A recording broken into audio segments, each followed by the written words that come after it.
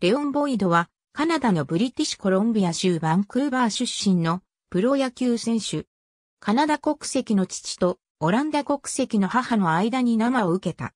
2007年と2008年はオランダの野球リーグであるフーフトクラッセのドア・ネプチューンズでプレーした。2008年の北京オリンピックの野球競技のオランダ代表に選出されている。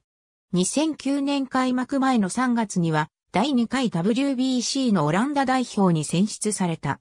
大会では一時、ラウンド2度目のドミニカ共和国戦で勝利投手になり、2次リーグ進出に貢献した。2009年にトロントブルージェイズとマイナー契約したが、同年限りで退団した。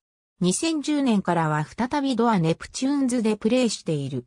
2011年9月20日に第39回アイブフワールドカップのオランダ代表に選出されたことが発表された。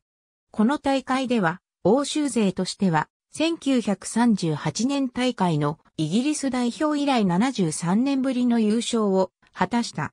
この栄誉を称えて代表24人全員にサーの爵位が贈られ、ボイドにも贈られた。2013年開幕前の3月には第3回 WBC にオランダ代表に選出されている。ありがとうございます。